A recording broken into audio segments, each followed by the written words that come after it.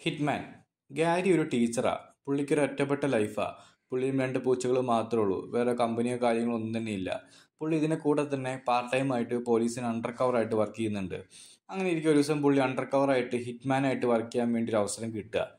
Hitman എന്ന് പറഞ്ഞു കഴിഞ്ഞാൽ പൈസ കൊടുത്തു കഴിഞ്ഞാൽ ആളെ കൊല്ലുന്ന പരിപാടി.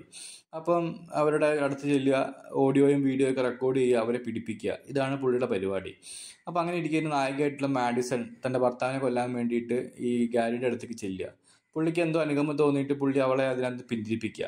പിന്നെ തുടർന്ന് ഇവർ തമ്മിൽ കമ്പനിയായി ഇവർ ഇഷ്ടത്തിലാവുന്നത് തുടർന്ന് കുറേ പ്രശ്നങ്ങൾ ഉണ്ടാവുന്നുണ്ട്. അതാണ് ഹിറ്റ്മാന്റെ ഒരു സ്റ്റോറി വരുന്നത്. ഇതിൽ ഗ്യാരിയായിട്ട് അഭിനയിക്കുന്നത് ഗ്ലെൻ പവലും മാഡിസൺ ആയിട്ട് അഡ്രി അർജോനയാണ്.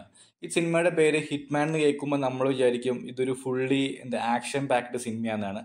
പക്ഷേ ഇതിനകത്ത് ആക്ഷൻ എന്ന് പറഞ്ഞ സാധനം ഇല്ല. സിനിമ അടിപൊളിയാട്ടോ. സൂപ്പറാണ്. മസ്റ്റ് വാച്ച് തന്നെയാണ്.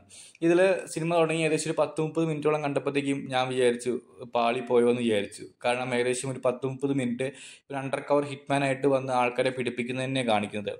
വേറെ പ്രത്യേകിച്ച് ആക്ഷനോ കാര്യങ്ങളോ ഒന്നും തന്നെ ഇല്ല. ഞാൻ ട്രെയിലർ കണ്ടിട്ടുണ്ടായിരുന്നില്ല അപ്പം അതും പ്രതീക്ഷിച്ചാണ് ഞാൻ കണ്ടത്.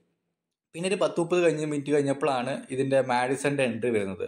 അതിന് ശേഷമാണ് സിനിമയുടെ ട്രാക്ക് ഒന്ന് മാറുന്നത്. ഇവർ തമ്മിലുള്ള റൊമാൻസും കാര്യങ്ങളും പ്രശ്നങ്ങളൊക്കെ വരുമ്പോഴാണ് സിനിമ ഒന്ന് ഇൻട്രസ്റ്റിംഗ് ആയിട്ട് മാറുന്നത്.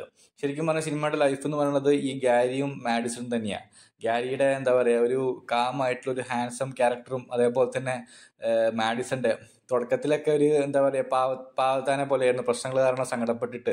പിന്നെ ഈ ഗ്യാരിയുമായിട്ട് കൂടിയതിനു ശേഷം ഒരു റൊമാന്റിക്കലി വൈൽഡ് ആയിട്ടുള്ള ഒരു ക്യാരക്ടറാണ് അവർ തമ്മിൽ നല്ല അടിപൊളി കെമിസ്ട്രി തന്നെ ആയിരുന്നു കേട്ടോ കുറച്ച് ഇന്റിമേറ്റ് സീൻസും കാര്യങ്ങളൊക്കെ തന്നെ ഉണ്ട്. അവസരം അതേപോലെ തന്നെ എൻഡിങ് ആണെങ്കിൽ തന്നെ നല്ല രീതിയിൽ ഞാൻ ചാമ്പൂ എന്നാണ് വിചാരിച്ചത്. പക്ഷെ നല്ല രീതിയിൽ തന്നെ എൻഡ് ചെയ്ത് നല്ലൊരു സിനിമ തന്നെയാണ്. എന്താ പറയുക മസ്റ്റ് വാച്ച് ആയിട്ട് കാണാൻ പറ്റിയൊരു സിനിമ തന്നെയാണ് ഗാരിക്കും മാഡിസണും വേണ്ടി തന്നെ. അപ്പോൾ ഓക്കെ താങ്ക്